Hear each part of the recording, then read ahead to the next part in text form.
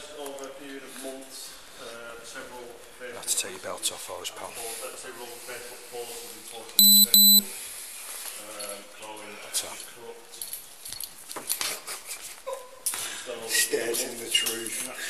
Let's uh, kick your boots off, aren't we?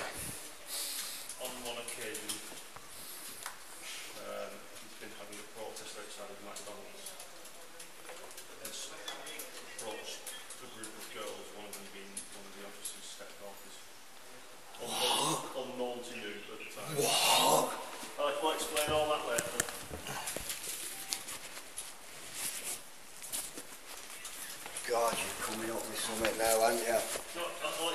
Oh, absolutely laughable. Absolutely laughable. So